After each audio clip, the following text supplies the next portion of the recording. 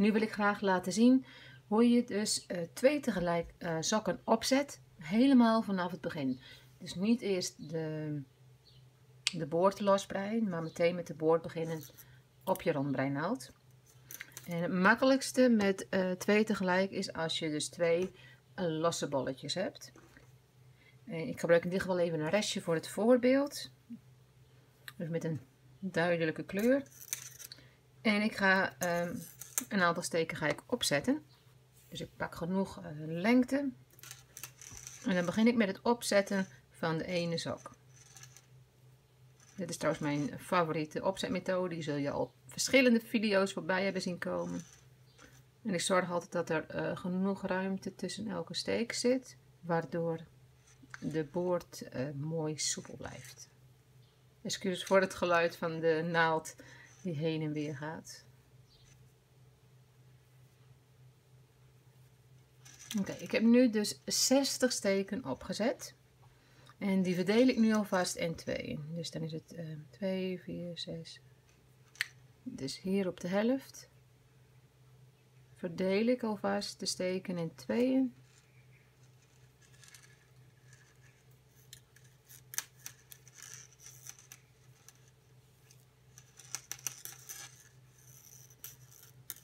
En dus dan, dit was zeg maar het uiteinde en dit is het begin. Nu gaan we de volgende zak opzetten. En dat doe je aan de kant waar het uiteinde zit. Dus op deze naald, daar begin je met opzetten. En dan zet je 30 steken op. Of in ieder geval de helft van je aantal steken wat je nodig hebt. Aangezien ik hier met 60 werk, heb ik er dus 30 nodig. Nou, ik heb nu de helft van mijn steken opgezet. En nu komt eigenlijk het trucje waardoor je dus vanaf de boord op kunt zetten. En dat betekent dat je nu met de andere naald deze steken overpakt. Dus je steekt nu in elke steek Dus al deze steken die je net hebt opgezet, die pak je over op de andere naald. Nu heb je dus al die steken overgezet. En hier zitten je twee uiteinden waarmee je net aan het opgezet zetten. Die pak je weer in je vingers. Die eerste steek, die gaat altijd een beetje lastig. Want dan moet je even een klein beetje, dus ik pak hem hier op. En daarop. Dus ik zorg niet dat ik een één lusje erop heb. Die trek ik even goed aan. En vanaf dat moment zal het weer makkelijker gaan. Dus je zorgt dat deze, goed, deze eerste steek goed aantrekt. En daarna kun je weer gewoon op de normale manier kun je je steken opzetten.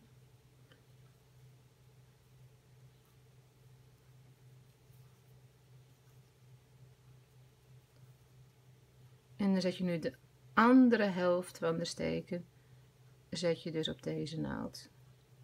Het is de, aan het begin dus even wat onwennig. En vooral die eerste steek op de tweede naald is even een beetje lastig. En het kan soms zijn dat de twist misschien net even niet goed is. Maar in de meeste gevallen valt dat bij deze opzetmethode bijna niet op. Dat het net eventjes anders is. Oké. Als we nu dus bestuderen wat we hebben gedaan, hebben we hier dus een zak, waarbij hier het midden zit en hier onderaan de draad. En hier hebben we een zak met hier het midden en daar een draad. Nu gaan we aan de slag met de woord.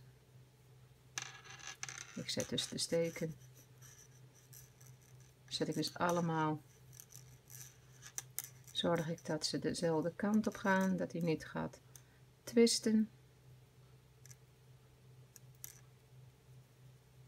Deze naald die trek ik er een stukje uit, zodat ik voldoende bewegingsruimte heb. Hier zit ook nog een lus. Dus zorg dat alles dezelfde kant op wijst, geen gedraaide steken. Ik steek nu dus in de eerste steek Wat ik dan zelf doe is, dan breng ik even de twee naalden wat dichter bij elkaar. En nu trek ik even wat beter aan. Dus ik ga nu de boor doen, dus dat is twee recht, twee averecht.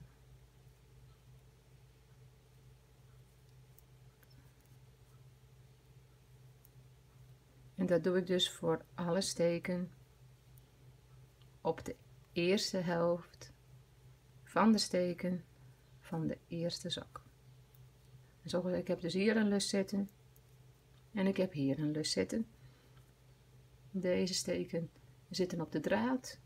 En deze steken die zitten op de naald. En dat zijn de steken waar ik mee uh, werk op dat moment. Ik vind Magic Loop een hele fijne methode. Maar voor één sok vind ik het dan wat minder productief. Dus daarom als ik dan toch Magic Loop moet gaan werken, probeer ik het liefst meteen twee zakken tegelijk te doen. Oké, dus nu heb ik de eerste helft van de steken heb ik klaar. Ik zorg dat mijn draad naar achteren is. En nu gaan we naar de tweede zak. Eerst even mijn steken allemaal netjes doen. Ik steek dus nu mijn rechternaald in de eerste steek van de tweede zak. Ik hou ze even wat dichter bij elkaar. Sla mijn draad eromheen.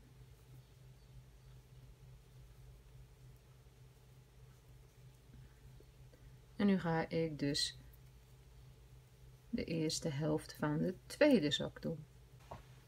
Dus ik nu aan het einde van de eerste set van de tweede zak. Nu draai ik en ik trek voorzichtig een stukje lus deze kant op, zodat de andere naald die kant op gaat. En nu trek ik deze naald eruit. Dus we gaan nu verder werken met de tweede helft van de steken. Dit is de opzet, dus dat gaat allemaal nog wat stroever. Straks als je verder bent, dan zul je merken dat dit bewegen van de naald een stuk soepeler gaat. Dus, en zit op dit moment nog een klein soort extra draad, maar op het moment dat je verder gaat breien, verdwijnt dat. Oh. Ik had 30 steken, dus ik begin nu met averecht, dus ik zorg dat mijn draad aan de goede kant zit. Als je met 56 steken werkt of met 64, dan begin je aan beide kanten met recht.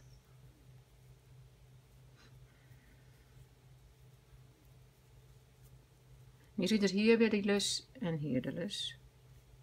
En deze zak, die brei je in principe dus in één stuk, om het zo te zeggen. Dus de alle steken brei je achter elkaar. Terwijl je die andere zak, die hier zit, die brei je dus eigenlijk eerst de ene kant, dan de andere zak en dan de andere kant van die eerste zak. Nou, de laatste vier steken. Twee recht en twee averecht. Oké, dus dit is in principe de ene zak. Die is helemaal klaar. Die heeft zijn eigen draden. En die gaat een stukje opzij. Nu komen we dus bij de tweede helft van de tweede zak. Zorg weer dus dat er niets um, gedraaid zit. We steken nu, oh, averecht natuurlijk, want we zitten met 60 steken bezig.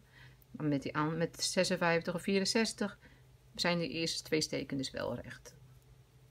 En die eerste rij, of die eerste ronde, die gaat dus altijd wel een beetje stroef. Omdat, ook al heb je nog wel wat, heb je, je wil niet te losjes opzetten.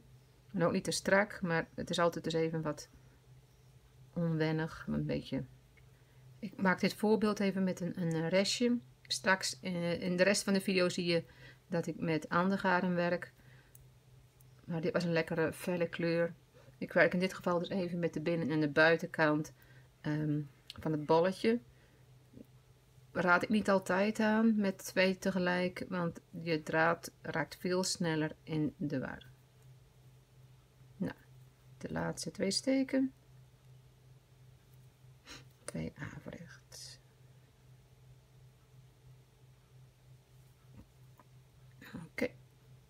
Nou, dan gaan we dus deze, die haal je stukje die kant op.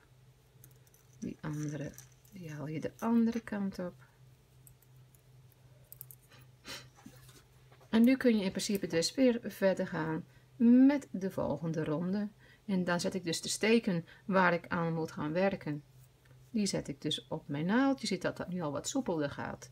Daarnet. Hier zit dus mijn draad met mijn lus. En nu ga ik dus gewoon weer verder gaan met de volgende ronde.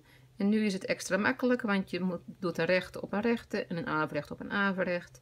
Dus alleen in die opzetronde moet je even extra opletten dat je, je boord goed is eh, gezet. Maar zo blijf je dus uh, doorgaan totdat je het aantal ronden hebt volgens het patroon.